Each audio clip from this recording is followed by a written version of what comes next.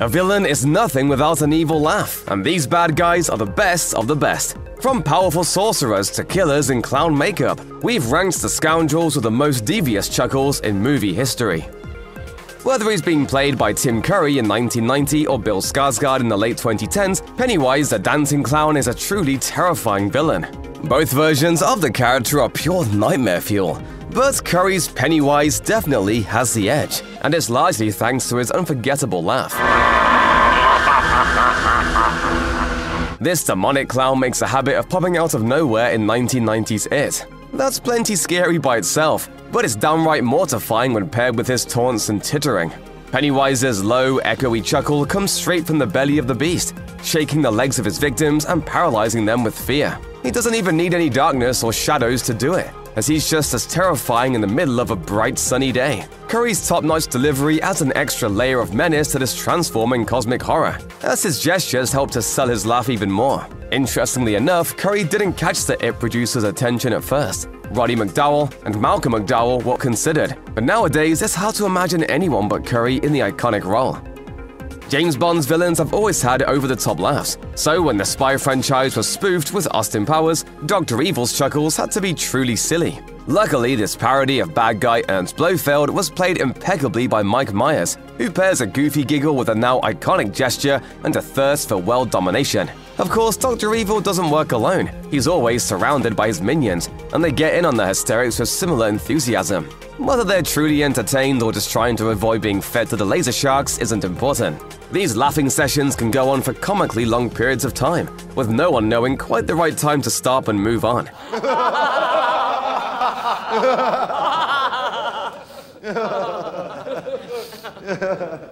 An unnamed ex Saturday Night Live writer once claimed that Dr. Evil was a caricature of SNL creator Lorne Michaels and his mannerisms. Myers brushed it off, however, claiming that the villain was inspired by Donald Pleasence's portrayal of Blofeld in 1967's You Only Live Twice. Either way, Dr. Evil's laugh is perfect for such a goofy personality. You don't need to have seen all of Aladdin to know that Jafar has plenty of dastardly plans up his sleeves. Just look at the guy.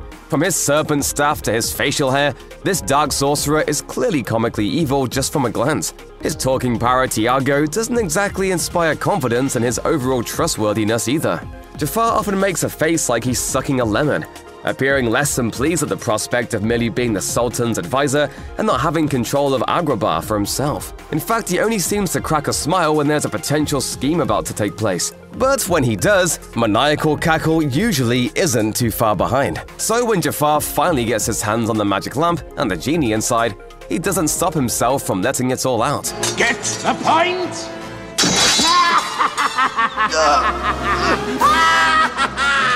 Jafar's truly menacing delivery makes it seem like he's an unstoppable force once he's used his first two wishes. But when he's tricked by Aladdin into becoming a genie and is trapped in a lamp himself, he's not laughing anymore. Jason Voorhees and Michael Myers tend to go about their business in silence, but Freddy Krueger from A Nightmare on Elm Street possesses the dark heart of a showman.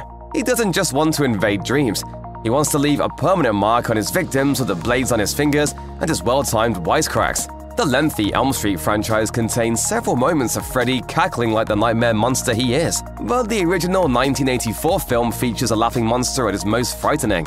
After Tina Gray falls asleep next to her boyfriend, it doesn't take too long for Freddy to invade her dreams and attack her. Fighting back in the nightmare, Tina reaches for his face and grabs, so Freddy's skin falls off, revealing the grotesque skull behind it. Freddy isn't afraid to be mutilated for a gag. In fact, he finds it hilarious. There's always something twisted tickling his funny bone, and he's not afraid to let everyone know. The demon Pazuzu doesn't like to pay rent. Instead, it decides to take residence within 12-year-old Regan MacNeil in 1973's The Exorcist. The hostile takeover doesn't sit well with Regan's mother Chris, so she calls in the experts to exorcise the demon out of her daughter. When the priests visit, Pazuzu turns the affair into a high-stakes slumber party complete with hellish games and infernal tricks. Father Merrin and Father Karras try a few different methods to free Regan from Pazuzu's clutches, but the entity refuses to let go. It mocks their efforts as the poor girl's body begins to suffer. Moans of pain turn to laughs and back again as Regan throws cabinets open and spews green vomit all over the place. The voice of Pazuzu belongs to the late Mercedes McCambridge. As director William Friedkin revealed in a behind-the-scenes video, McCambridge prepared for the role by swallowing raw eggs, smoking a ton of cigarettes, and consuming alcohol to get into character. No wonder she comes across as so unhinged. Stanley Kubrick's The Shining remains one of the most haunting films of all time mostly due to Jack Nicholson's mesmerizing and disturbing turn as Jack Torrance. Over the course of his stay at the Overlook Hotel, his personality shifts from family man to unstable lunatic as the hotel's ghastly influence seeps into his being. Naturally, his slip into insanity is full of uncomfortable laughter that terrifies his wife Wendy and son Danny. The entirety of The Shining is an acting masterclass from Nicholson, but one of the most impressively chilling moments comes when Jack decides to get a drink. Upon greeting the ghostly bartender Lloyd in the otherwise empty gold room, he laughs at his own joke in a truly eerie fashion. A little slow tonight, isn't it?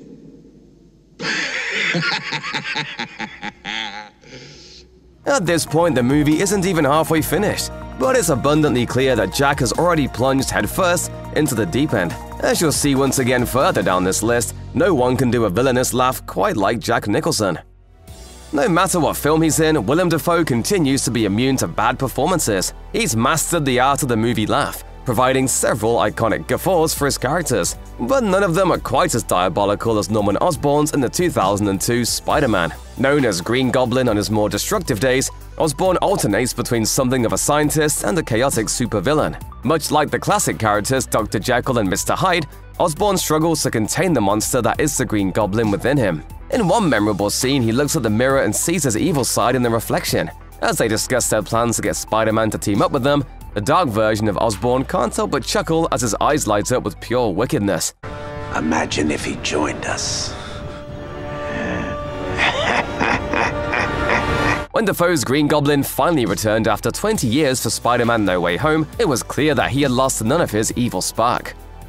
Fans will often excuse all sorts of horrible crimes from their favorite movie characters, but many people draw the line at animal cruelty. That's what makes Cruella de Vil, as played by Glenn Close in the 1996 live-action remake of 101 Dalmatians, so universally hated. Her motivation is both extremely simple and extremely despicable. She wants to kill Dalmatian puppies and turn their fur into a dress. In her opinion, there's nothing wrong with skinning dozens of beloved pets as long as you end up looking fabulous. If that's not dark enough, Cruella finds any objections to her bloody plans simply hilarious. When someone brings up the topic of the Dalmatians, she breaks out into wide-eyed berserk fits of laughter, as if there's no funnier concept than animal welfare. It would be as if I were wearing your dog. woof woof! It's hard to imagine a more loathsome character than Cruella de Vil. Where is John Wick when we need him the most? Every iteration of the Joker boasts his own trademark laugh, so it's difficult to choose just one actor to represent the clown prince of crime. More the versions of the character played by Cesar Romero, Heath Ledger, and Joaquin Phoenix all have impressively sinister laughs, Jack Nicholson's Joker from Tim Burton's Batman has them all beat. Every time Nicholson's Jack Napier walks onto the screen, something truly iconic is about to go down. Whether he's roaring in delight while murdering mobsters, or after yucking it up after vandalizing priceless artwork, the villain possesses a serious case of the chuckles. That said, the Joker's most unnerving laugh occurs after Jack falls into a vat of acid and visits a budget-friendly surgeon in the hopes of fixing his face. The surgeon holds a mirror for Jack to see his new face after the operation, and while his moans sound like tortured wails at first, they morph into truly unsettling laughter. Yeah. From Bela Lugosi in 1931 to Nicolas Cage in 2023, countless people have played the role of Dracula on the silver screen over the years. In 1992, director Francis Ford Coppola took a stab at the classic story with Bram Stoker's Dracula. And not only did it end up being one of the most visually stunning movies ever made, but Gary Oldman's portrayal of the iconic vampire turned out to be truly delectable. Keanu Reeves may not give the most convincing performance as Jonathan Harker, but he's at his most impressive when he's being terrorized by the evil Count. In one early scene inside Dracula's castle, his vampire brides drink Jonathan's blood until they're interrupted by their master, who gives them a baby to feast on instead. As Jonathan screams in terror at the infant being devoured, Dracula simply can't help but laugh.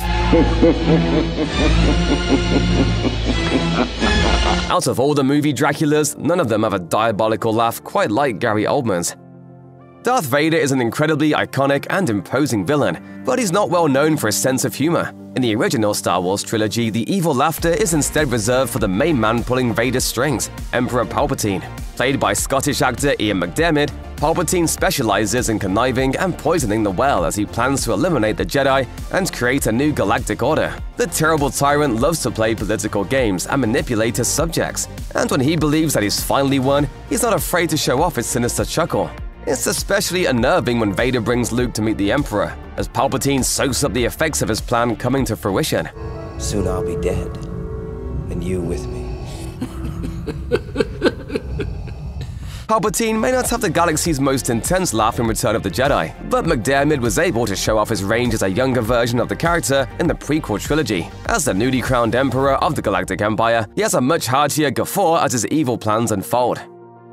If someone crushed your sibling to death at a building and stole their shoes, you'd probably be upset too. But the Wicked Witch of the West holds a particularly intense grudge against Dorothy and Toto in The Wizard of Oz. After a tornado whisks the Gale farmhouse away from Kansas and delivers it to Munchkinland, the girl and her dog land directly on top of the Wicked Witch of the East. And naturally, her sister isn't too happy when she finds out.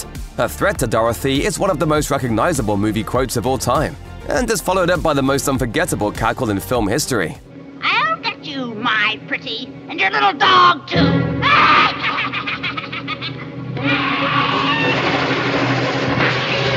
the Wicked Witch of the West was played by character actor Margaret Hamilton, who caught a big break after putting on the green paint. She may end up melted by Dorothy at the end of the film, but the Wicked Witch will always remain one of the most iconic movie villains of all time.